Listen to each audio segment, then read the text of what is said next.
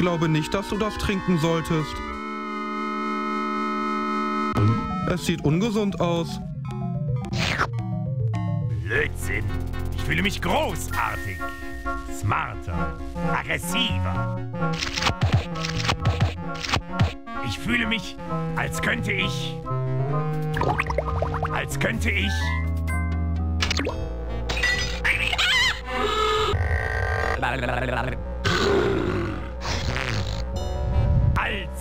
könnte ich...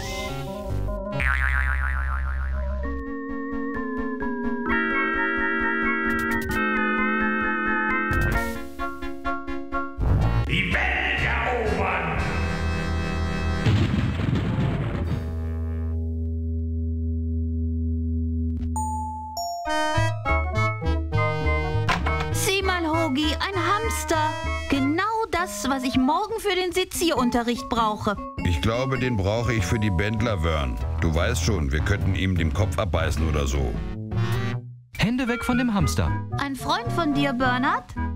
Er gehört dem verrückten Ed Edison. Sieht so aus, als hätte er was mitgebracht. Er ist von meinem Freund Grüntentakel. Da steht, dass Purpurtentakel zu einem verrückten Genie mutiert ist. Und dass Dr. Fred beide töten will.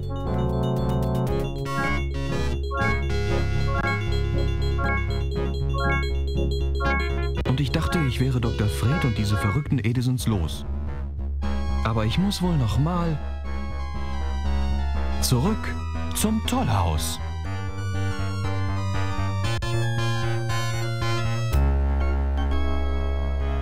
LucasArts Entertainment Company präsentiert Day of the Tentacle, der Tag des Tentakels. Stimme weg.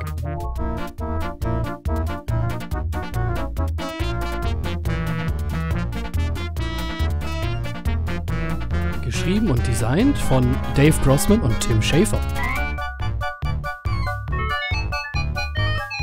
Ganz viele Programmierer. Und Tim Schafer. Leitender Künstler Peter Chen. Animation habe ich nicht mehr gelesen. Ja, da. Die. Die auch. Ah, der. Hier, da. Den. Oh, kenne ich.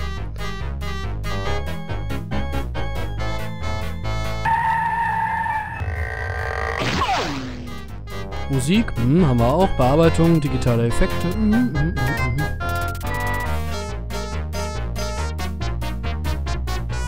Cheftester. Sowas gab's damals noch. Testing, ah, hier, guck da. Noch mehr Tester.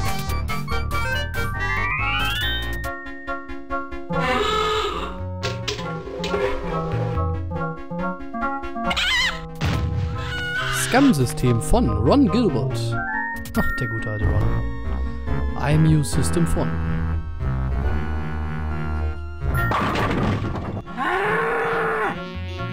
Stimmen produziert von, Stimmtechnologie von. Das ist mir zu schnell. Das kann ich nicht so schnell lesen. Story von Tim Schafer und Ron Gilbert. Ron Gilbert. Basiert auf Charakteren von. Na. Tim Schafer. Immer wieder Tim Schafer. Ah, guck mal da oben. Bates Motel. Okay, wir schwärmen aus. Laverne, du sicherst den Bereich hinter diesen Doppeltüren. Haugi, du kümmerst dich um den ersten Stock. Und ich mache hier die Kommandozentrale. Wonach suchen wir eigentlich? Wir müssen rausfinden, wo Dr. Fred die Tentakel festhält. Hoffentlich dauert das nicht lange. Ich habe morgen meine Anatomieprüfung. Ich muss nachher noch einen Auftritt vorbereiten. Wenn ich zu spät komme, kann ich das Schlagzeug nicht testen. Wie ich Dr. Fred kenne, hat er die Tentakel in seinem Geheimlabor versteckt. Die Frage ist bloß, wo ist sein Geheimlabor? Und damit herzlich willkommen zu einer ersten Episode, einer neuen Folge und einem neuen Spiel Day of the Tentacle, der Tag des Tentakels. Ich liebe aber Day of the Tentacle, wir bleiben dabei. Wir sind Bernard, wer Maniac Mansion gespielt hat, kennt ihn noch. Ja, willkommen. Ich habe es angekündigt, Tim Schafer Games, ich werde sie weiterspielen. Unter anderem halt auch hier Day of the Tentacle, Ron Gilbert und Tim Schafer, die Masterminds auch hinter äh, Monkey Island und Co. ja, ähm, ich spiele das Ganze in der DOS-Box, deswegen klick. Ich bin jetzt hier erstmal drin. Ähm, das Ganze war nicht ganz so einfach zum Laufen zu kriegen. Das ist jetzt echt witzig, denn ich spiele äh, tatsächlich in einem mini, mini, mini Fenster und äh, eigentlich spiele ich äh, hauptsächlich über das OBS-Fenster, denn das zeigt mir den Innen, das Innenleben des äh, Fensters in Größe an. Ich kann besser spielen. So, und wir starten auch gleich los, denn äh, welcome. Wir werden hier willkommen geheißen und doch nicht. No. Okay, dann, äh, ja, wir gucken mal. Hier, was ist das denn da? Gehe zur Aushilfe gesucht, Schild. Schaue an. Laborassistent gesucht. Fleißige Aushilfe gesucht, die Genie bei Experimenten hilft. Abitur nicht erforderlich.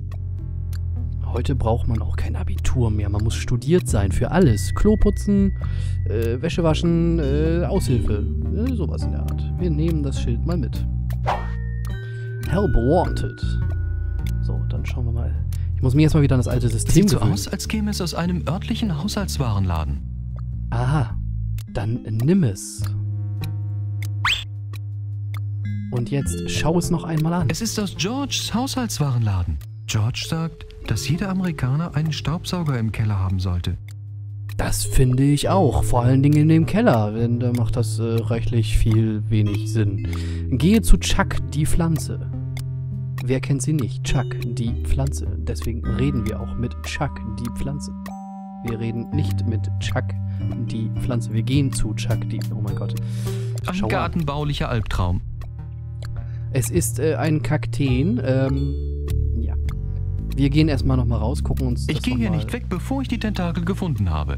Okay. Okay, okay. Oh, wir haben ein Kaugummi.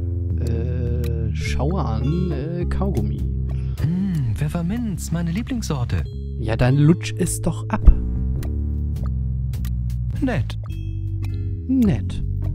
Nett. Nett, sagt er. Pling. Pling. Okay, da kommt nichts. Ähm, ich erinnere mich noch so ganz dunkel an äh, Day of the Tentacle. Wir, oder ich äh, spiele das eigentlich regelmäßig immer mal wieder. Das letzte Mal allerdings vor puh, gut und gerne fünf bis acht Jahren, wenn nicht sogar noch mehr. Ja. ähm, ich würde vorschlagen, wir gehen zur Tür und öffnen diese. Und dann gehen wir da mal rein. So, Telefon, Bild. Okay, gucken wir uns erstmal das Bild Sieht an. aus, als ob Dr. Fred eine gepuderte Perücke trägt. Irgendwie hübsch. Aber ich bin froh, dass er seinen Haarverlust akzeptiert hat. Ja. Benutze. Besser nicht. Okay. Öffne. Ah, wusste ich's doch. Der Safe ist geschlossen. Ach nee. Öffnen? Ich kenne die Kombination nicht. Ach, na sowas. Na sowas. Schau an, das ist ein Telefon. Modernes Design, stabile Konstruktion, attraktiv. Alles in allem ein schönes Telefon. Wählscheibe. Ja, liebe Kinder, das war ein Nicht-Touchscreen-Telefon. Das hatte sogar noch Schnur dran. Ja. Genau. So. Äh, benutze Telefon. Ich habe mein Adressbuch vergessen. Na sowas. Gehe zu Schweizer Sparbuch. Aha. Ha! Dr. Fred hat nicht einen Pfennig. Ach ja, das war ja noch in der Zeit, als es noch Pfennige gab. Liebe Kinder, erneut, dies ist ein älteres Spiel. Pfennige. Junge, die Edison sind eine ziemlich hässliche Familie. Nochmal zu dem äh, Pfennigen, das war die Währung vor dem Euro. Ah, Es gab eine. Ja, ja. So. Und äh, Bernhard ist sehr freundlich. Kamera? Ich hoffe, es sieht niemand zu. Warum nicht? Ich sehe auf Video so blöd aus. Ach komm. Schaue an Kalender. Wow, aus meinem Lieblingsfilm. Wow, aus meinem Lieblingsfilm. Aber er sagt's nicht. Aber wir wissen alle, wer das ist. Das ist Lord Helmchen. Ich habe davon drei Stück zu Hause. Na gut. So. Ein Telefon out of order. Sieht kaputt aus, aber da ist irgendwas im Mündschacht. Ja, ich sehe es. Ein Groschen. Den nehmen wir mal. So, da ist Laverne reingegangen. Ich glaube, da kommen wir jetzt nicht rein, weil die sich um den Bereich kümmert. Laverne kümmert sich um diesen Bereich. Genau. Wir schauen mal nach oben. Sie- Haugi sieht hier schon nach dem Rechten. Ah, okay. Ähm, ich erinnere mich aber noch, was hier war. Hm, irgendwas stimmt nicht mit dieser Uhr. Aha, ein Geheimgang. Das ist fast schon zu einfach. Aber nur fast.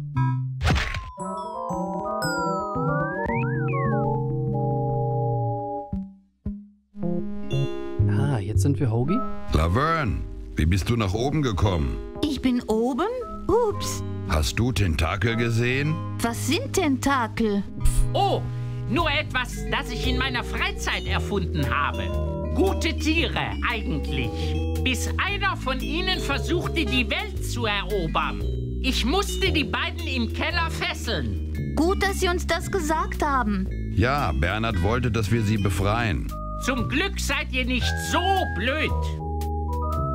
Sagtest du Bernhard?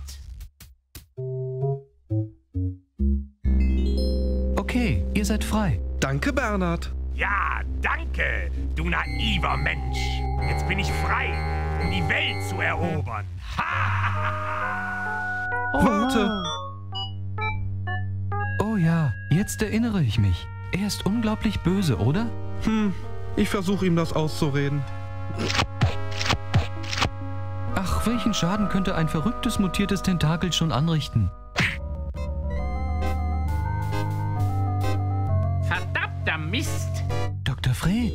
Was hast du diesmal wieder gemacht, du neugieriger Milchtoast?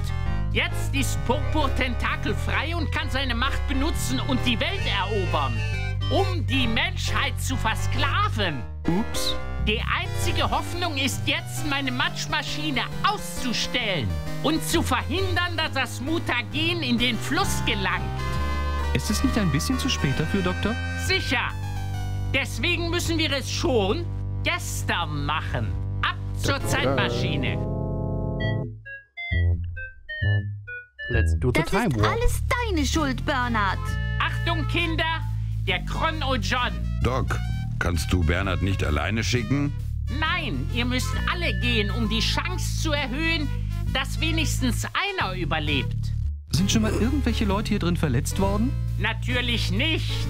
Das ist das erste Mal, dass ich es mit Menschen ausprobiere.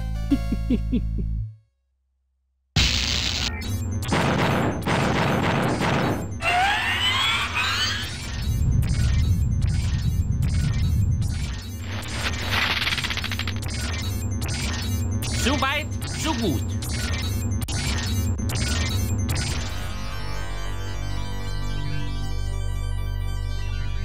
Bernhard, komm her, damit ich dich schlagen kann.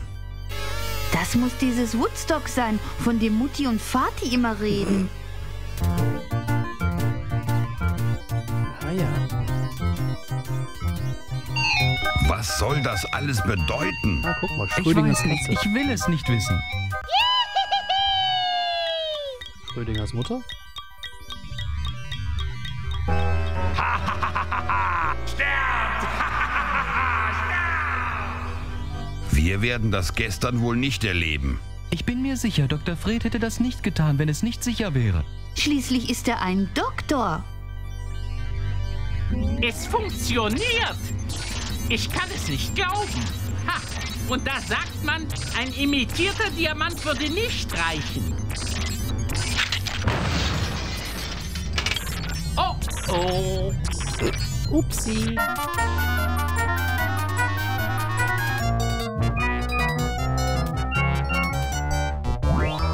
Yeah. Heavy metal.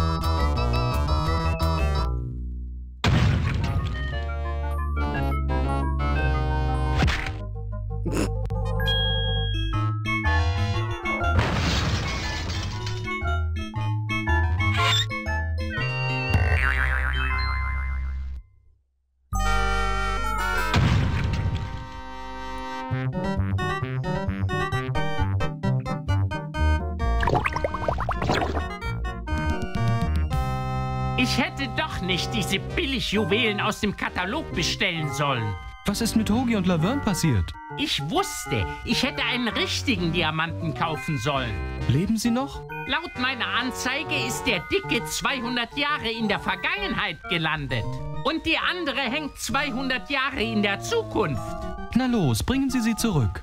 Werde ich ja, sobald ich einen neuen Diamanten habe. Dann müssen deine Freunde nur noch ihren Chrono John anschließen und? Anschließen? Wo soll Hogi denn eine Steckdose finden? 200 Jahre in der Vergangenheit. Tja, nun, er braucht wohl meine patentierte Superbatterie, was? Tja, aber wo habe ich die Pläne dafür nur hingetan? Pläne? Wie sollen wir Hogi denn die Pläne schicken? Stör mich nicht mit Details, Junge. Hilf mir, die Pläne zu finden. Sie sind hier irgendwo. Also, was soll ich jetzt machen? Ich dachte, ich hätte mich klar ausgedrückt. Erstens, Pläne finden. Zweitens, Welt retten. Drittens, raus aus meinem Haus. Los geht's!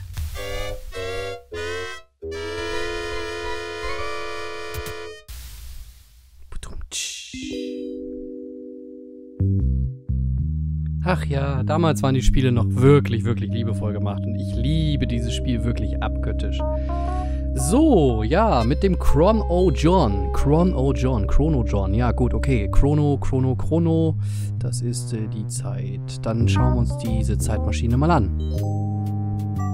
Ich kann ohne einen neuen Diamanten nichts machen. Das äh, war mir fast bewusst.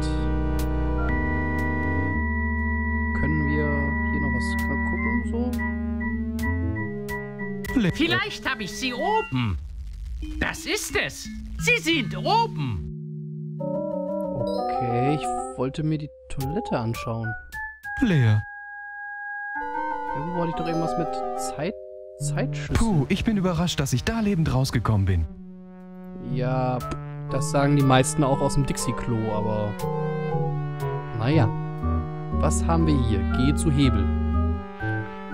Ich finde schön automatisch anges... Also so, so, so Sachen sind schon automatisch dran, sowas wie ähm, Drücke. Wir machen das jetzt einfach mal. So, nun ist sie aus, aber es ist schon zu spät. Okay. Sie ist jetzt wieder an. Ich lasse die jetzt erstmal an. Es ist Dr. Freds Plan für die Superbatterie. Sie ist in der Lage, 1 Gigavolt zu speichern bei einer Ladezeit von 0,1 Sekunden. Wow. Ja, Bombe. Mitnehmen. Das brauchen wir doch. Genau das brauchen wir doch. Ich habe die Pläne. Schnell! Wir müssen sie zu Hogi spülen. War ja nicht Wie wollen? Sie das machen? Meine genialen Superbatteriepläne. Bitte.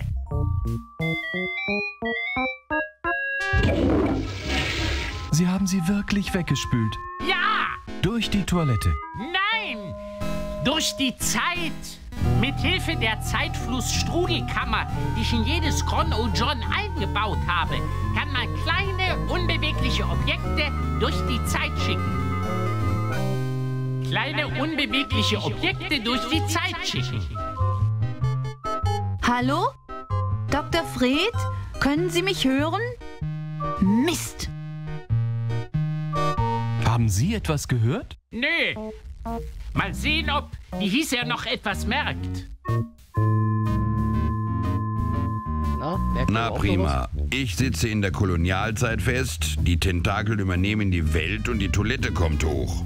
Hogi, komm hier rüber. Hier ist dein alter Kumpel Dr. Fred. Dr. Fred, wie bist du da reingekommen? Ich möchte, dass du die Pläne nimmst, die da in der Schüssel schwimmen, Hogi. Bring sie zu Red Edison. Er ist mein Ur, Ur, Ur, Ur, Ur, Ur, Ur. Ur, Ur, Urgroßvater. Er wird wissen, was zu tun ist. Du brauchst die Pläne für eine Superbatterie, um deine Zeitschüssel daran anzuschließen. Wenn du meinst, Bernhard. Guter Junge. Hat er Erfahrung mit Elektronik? Tja, ich sah mal, wie 3000 Volt direkt durch seinen Kopf ging, ohne dass er mit der Wimper zuckte. Wurde er da nicht bewusstlos? Nun, er war schon bewusstlos, als das passierte. Zeit für mich, die Welt zu retten. Genau, und wir können jetzt auch zurück zu Bernhard wechseln oder mit ihm hier weitermachen. Ähm, Laverne können wir leider noch nicht anwählen. Ich sage aber jetzt erstmal, da unsere Folgen dieses Mal etwas kürzer ausfallen sollen, so zwischen 15 und 20 Minuten, ähm, das ist jetzt erstmal Finale. Schluss, Ende aus, Niente. Tschüss, auf Wiedersehen, bis zum nächsten Mal. Genau, wir rülpsen den Leuten ins Gesicht und bis zum nächsten Mal. Gehabt euch wohl. Allons-y.